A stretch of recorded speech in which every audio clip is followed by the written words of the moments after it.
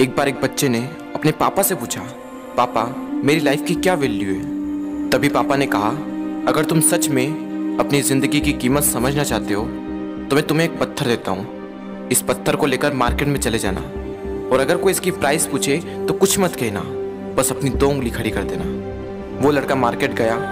वो कुछ देर तो वहाँ ऐसे ही बैठा रहा। लेकिन कुछ देर बाद ही एक बूढ़ी औरत उसके पास आई और उस पत्थर का प्राइस पूछने लगी। वो लड़का एकदम चुप रहा। उसने कुछ नहीं कहा और अपनी दो उंगलियाँ खड़ी कर दी। तभी वो बूढ़ी औरत बोली, दो सौ रुपये ठीक है, इस पत्थर को मैं तुमसे खरीद लूँगी।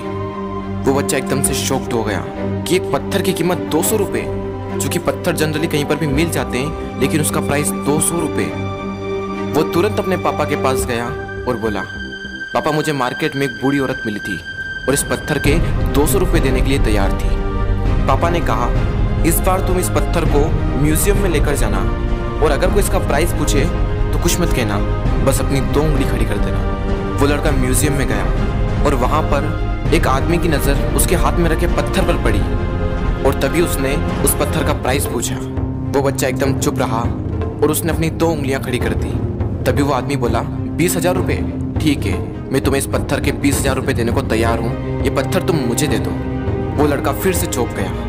और जाकर अपने पापा से कहा, पापा, म्यूज़ियम में मुझे एक आदमी मिला था और इस पत्थर के बीस हज़ार रुपये देने को तैयार था। तभी उसके पापा ने कहा, अब मैं तुम्हें आखिरी जगह भेजने जा रहा हूँ और अब तुम्हें जाना है कीमती पत्थरों की दुकान पर। और अगर वहाँ पर भी कोई प्राइस पूछे तो कुछ मत कहना, बस अपनी दो उंगलियाँ खड़ी कर देना। वो लड़का जल्दी से कीमती पत्थरों की दुकान पर गया और उसने देखा कि एक बूढ़ा आदमी था जो काउंटर के पीछे खड़ा था। जैसे ही उस बूढ़े इंसान की नज़र उस पत्थर पर पड़ी, वो एकदम शॉक्ड हो गया। वो काउंटर से बाहर निकला और तुरंत उस बच्चे के हाथ से वो पत्थर छुड़ा लिया और बोला ओ माई गॉड इस पत्थर की तलाश में मैंने अपनी पूरी ज़िंदगी गुजार दी। कहाँ से मिला है पत्थर? और क्या प्राइस है इसका? कितना लोगे तुम इस पत्थर के लिए? वो बच्चा तब भी चुप रहा और अपनी दो उंगलियाँ खड़ी कर दी। तभी वो बूढ़ा आदमी बोला, कितने? दो लाख रुपए? ठीक है, मैं इसके लिए तुम्हें दो लाख रुपए देने को तैयार हूँ। प्लीज़ तुम ये पत्थर मुझे दे दो। उस लड़के को अपनी आँखों पर विश्वास नहीं हो रहा था।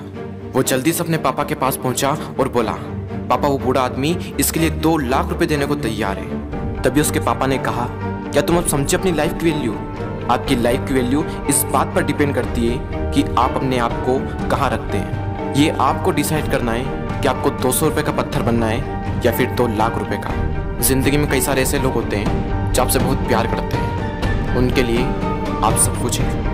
और कुछ लोग ऐसे भी होते हैं, जो आपको सिर्फ़ एक वस्तु के रूप में उपयोग करेंगे। उनके लिए आप कुछ भी नहीं हो।